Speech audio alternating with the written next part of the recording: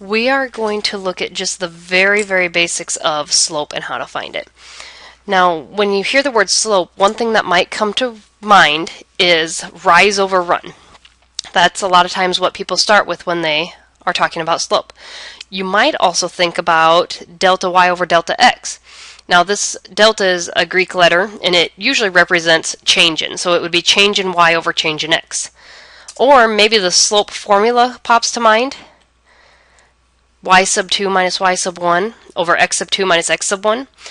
Notice that all three of these things are ratios. It's the ratio of rise to the run. It's the ratio of the change in y to the change in x, which is the same thing this says. They're all ratios. Um, one way that you can think about slope is you can think about it as the steepness of a line. So if you were driving a car up a hill compared to maybe this hill, well, my top one here is steeper. It has a greater slope. This bottom one's not as steep. It has a smaller slope. So slope can deal with steepness. Um, another thing that we will eventually get to later is that slope is also a rate of change. And we will do that when we start looking at graphs and labels and how this ratio of rise over run gives us this rate of change. Okay, so the first thing that we're going to do is we are going to find the slope of a line between these two points. I'm going to do that by using the slope formula and in order to do that, I need to first assign my ordered pairs to be either x sub 1, y sub 1, or x sub 2, y sub 2. I'm just going to call my first ordered pair x1, y1, and my second one x2, y2. Now I can go ahead and plug them into my formula. So y2 minus y1 over x2 minus x1. So I've taken all my values and I've plugged them into my formula. Now when I do the top, this minus a negative 8 turns into plus a positive. So I end up getting 3 over 2. So the slope of the line that would pass through these two points would be 3 over 2. Now, you might be wondering what happens if instead of calling this first ordered pair x1, y1, I call them x2, y2. And I call these other ones x1, y1. Well, we'll calculate the slope that way also. So now if I use my slope formula, I have to take y2, which is negative 8, minus my y1, which is negative 5, over my x2, which is 7, minus my x1, which is 9. On the top, I get plus a positive again, so I get negative 3 over negative 2. And when you divide two negatives, it turns into a positive. So notice that we get the same answer. The important things are. The y's have to go on the top. That's a common error for people to put x on top. It's the y's that go on top. It's rise over run. Rise being up. And then another mistake that people make is they don't pair them up right. Notice that the negative 8, 7 right here, they're right on top of each other. They are partners in our ordered pairs. The negative 5, 9 here, they are partners in our ordered pairs. Negative 5, 9 here, partners in our ordered pairs. Negative 8, 7, partners in the ordered pairs. So they have got to be lined up that way. If you mix match, so let's say we had the 9 first here and the 7 back here, but we left the top, you aren't going to come up with the right slope because they have to be paired that way. So you'll want to identify which ones are x1, y1, and x2, y2, and then plug them into your formula. Okay, here's another one. Find the slope of the vertical line that grows, goes through the point 5, 3. Well, in order to use our formula, we have to have two ordered pairs. So we have a couple options here. I could sketch myself a little picture, graph the point 5, 3, and now I have a vertical line. Well, vertical lines go straight up and down. So if this right here is the point 5, 3, I can find another point on this line I'm going to go with that one. That would be at 5, 0. Because that's what vertical means. It has to be right directly above it. So I still have to go over 5, but I'm not going to go up anywhere. From here, I could go ahead and use my slope formula. I could use y2 minus y1 over x2 minus x1, and I'm going to get 3 over 0. Now right now you should have some, some math radar going off that something's not right about this. And the problem is we're not allowed to divide by 0. So what happens anytime we have a vertical line, we are going to have an undefined slope. And the reason that's going to happen is because no matter where I go, let's call this x. If I go up here to um, x comma 5 and down here to x comma negative 2, when I do that subtraction on that vertical line, on the bottom I'm going to have x minus x. So it might be 10 minus 10 or 3 minus 3 or 8 minus 8. I am always going to get a 0 in the denominator anytime I have a vertical line. So any vertical line has an undefined slope. Now another way I could have thought about this is, okay, using my picture, so I didn't want to put points on there.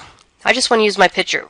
Well, slope is rise over run, so I can rise a whole bunch. Maybe I rise 7. But my run, I don't go over to the right or to the left, so my run would be 0. So I would still end up with an undefined slope, divided by 0.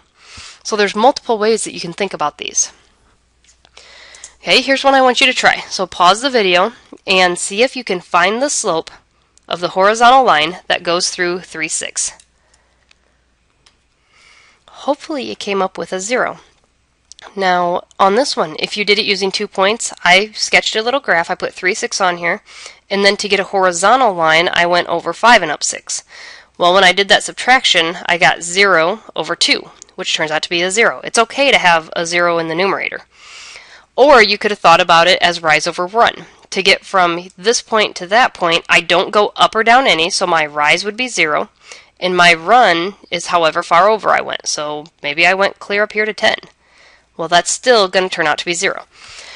Okay, so we've got these two different things going on. Vertical lines are always undefined. Horizontal lines are always a zero slope. Big difference between the two. One way that you can think about it is a car. Can I drive a car on a horizontal line here? Could I drive that car there? You bet could I drive a car on a vertical? And the answer to that one would be no, because you would fall off. The car would completely fall off. So you can't drive on a vertical line, which means you can't have a slope, which means it's undefined. A horizontal line has a zero slope. There is no incline. It's just a nice flat road. No steepness to it. Okay, what I want you to do is I want you to look at these graphs and I want you to find the slopes of the parallel lines shown. Now one way that you can do this, the easiest way to do this, is to pick two points that are perfectly on the corners. So I'm going to pick those two points for my first line. And on my second line, I'm going to pick those two points. And what I want you to do is I want you to either use the slope formula, I either want you to use rise over run, change in y over change in x, and I want you to find the slope, we'll call this one line 1, and then find the slope of line 2. So pause the video and go ahead and find those slopes. Hopefully you found the slope of line 1 to be 3 over 2. Now if you did this using rise over run, you could count how far up did I go. I went 1, 2, 3. And what was the run? 1, 2. So I had my rise over my run. Or you could have used the slope formula. Same thing happens here. I go down 3 and left 2, well, down 3 and left are both negatives, so that would still give me a 3 over 2. Notice the slopes of both of those lines compared to each other. They are identical. So one thing that you need to know is that parallel lines have identical slopes, which if you think about it as the steepness of a hill, if you have two hills that are the exact are parallel to each other, they have to be the exact same steepness, otherwise they would run into each other. And if they're the same steepness, they have to have the same slope. Okay, this one. Let's do a similar type of thing. I want you to find the slopes of the two lines shown. We'll call that one line 1, this one line 2, and we need to find some points on the corners. Let's see, right here's one, and right there's one. So again, find the slopes of line 1 and line 2, and notice these are perpendicular lines. Alright, with these, they aren't the same like parallel was, but they do have some relationships to each other. Line 1 was 3 over 2. Line 2 is negative 2 over 3. If you were to describe somebody to somebody how these numbers were, you would probably indicate that they're reciprocals of each other, because 3 over 2 and 2 over 3. But then we also have to take this negative into account. So with perpendicular lines, their slopes, we call them opposite, because we need the positive and negative part, reciprocals of each other. So anytime we have perpendicular lines, their slopes are always going to turn out to be opposite reciprocals. Now another thing that I want to look at on this particular one is so far we've had um, lines that are going up and to the right. And notice that its slope was positive 3 over 2. Think about it as going up a hill. Well, on this line 2, we ended up with a negative slope. And if you think about it as a hill, you are going down the hill. We always start on the left-hand side of our paper. So from the left going down the hill, that gave us a negative slope. When we started on the left here, with our positive slope, we were going up. What we can kind of generalize is that anytime we have a negative slope, we call those decreasing. Our line is decreasing. Whenever we have a positive slope, our line is increasing. So those are also a couple different things to keep in mind. Okay, here's our practice ones. I give you three different lines here. What I want you to do is find the slope of each line, so find the slopes individually. And then down here, once you find the slopes, I want you to compare line 1 to line 2, and I want you to tell me, are they parallel, are they perpendicular, or are they neither? So you're going to look at the slopes and you're going to decide for each of these pairs. So go ahead and pause the video, find the slopes, and then decide what you think the relationship is between each one of these different pairs down here.